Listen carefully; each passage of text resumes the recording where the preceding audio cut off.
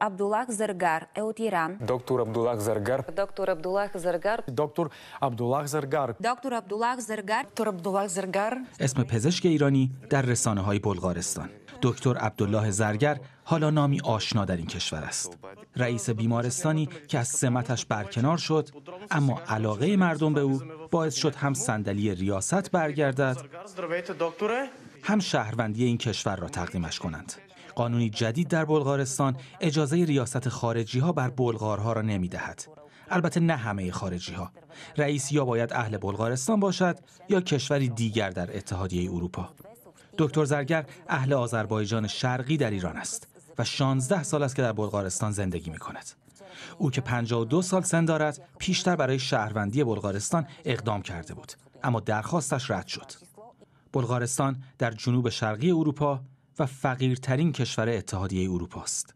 دکتر زرگر حتی در پایتخت زندگی نمی کند. بیمارستانش در شهری است کوچک به نام ایسپریخ. از دکتر زرگر پرسیدم که چطور شد آنجا رفت. بهم گفتن که اینجا بیمارستانی هست که داره ورشکست میشه بسته میشه یه دوستی دارم اون تو آلمان الان متخصصه گفت اگه امکان داره بیای کمک کنی منم همون داشتم قرارداد میبستم با انگلیس با بیمارستان کرو دیگه تصمیم گرفتم بیام اینجا هشت سال پیش بود اومدم تو این شهر کوچیک است اسپریخ اسمش است وقتی بیمارستان ورشکسته را راه انداخت همه قدردانش نبودند. مقامات محلی، همکاران و حتی مردم به دکتری خارجی خوشبین نبودند. اما با خدماتش احترام همه را برانگیخت. در بیمارستان بخش‌های جدید باز کرد، تجهیزات تازه خرید و متخصصان مختلف استخدام کرد. وقتی با اجرای قانون جدید از ریاست بیمارستان برکنار شد، مردم بیکار ننشستند. تومار جمع کردند. توماری که هفت هزار نفر آن را امضا کردند. در شهری که تنها 9000 نفر جمعیت دارد.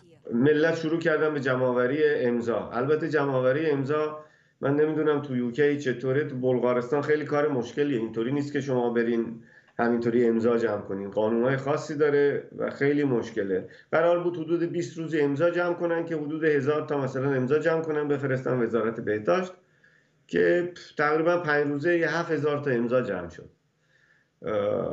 این امضاها رو جمع کردن بعد تلویزیون هم کمک کردن دعوت کردن از بعضی تلویزیون ها وقتی داستان رسانه ای شد پای دولت هم باز شد. روندی که پیشتر به مشکل خورده بود دو هفته ای حل شد.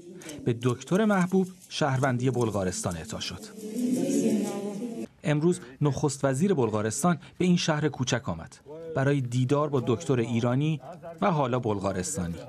همراه با وزیر بهداشت و وزیر اقتصاد.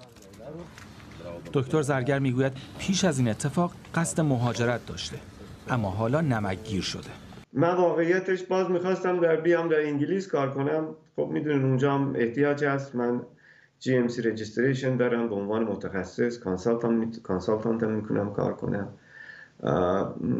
تصمیم گرفته بودم که بیام دیگه چون این کار که نمیشه من به خاطر این کار اومدم اینجا.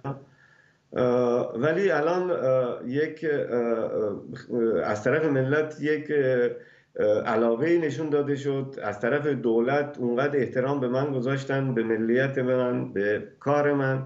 که واقعا من دیگه هیچ از نظر روحی و وجدانی حق ندارم که تصمیم بگیرم حداقل از اینجا خارج شم در این زمان نزدیک. مردمی قدردان زحمات دکتری که خدمت به آنها را به مهاجرت به کشوری ثروتمندتر ترجیح داده. پرهام قبادی بی بی سی.